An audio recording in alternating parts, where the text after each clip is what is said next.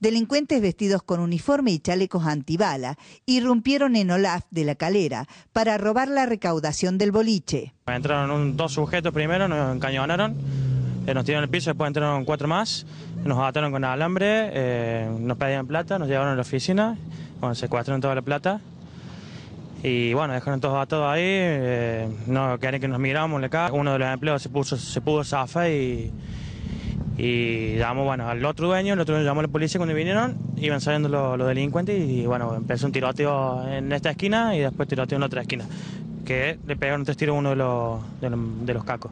¿Los delincuentes todos mayores, varones? Sí, todos entre 35 y 40 años. ¿A cara cubierta, descubierta? Uno con cara cubierta, algunos vestidos de policía, todos con chaleco antibalas. ¿Todos con chaleco antibalas los delincuentes? Sí.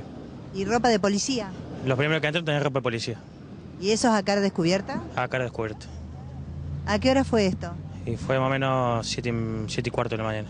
A la salida fueron perseguidos por la policía y uno de los delincuentes, que huyó de a pie, hirió a automovilistas antes de ser detenido. Hay un intercambio de disparos, este, recorren aproximadamente entre 300 y 400 metros.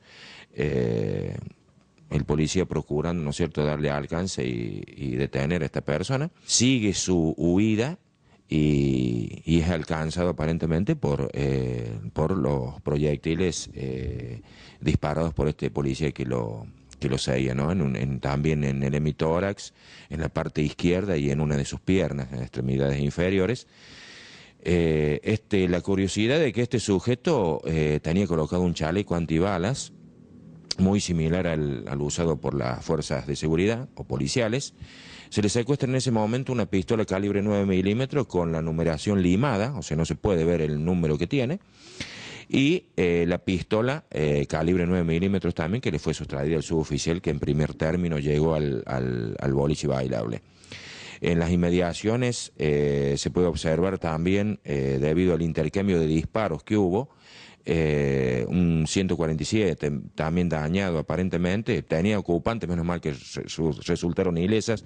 Los otros delincuentes se llevaron el botín dejando abandonado un vehículo. Aparentemente se llevaron parte, no tenemos la cantidad o parte de, la, de, una suma de dinero de la recaudación. Tenemos también eh, secuestrada eh, unas prendas policiales con insignias policiales en el río, la vera del río próximo al boliche bailable. Eh, y también un equipo portátil tipo handy, no sería nuestra, pero también aparentemente que han estado comunicados eh, por radio o escuchando, eso lo va a ver técnicamente Policía Judicial, eh, si está en comunicación o se puede escuchar frecuencias policiales.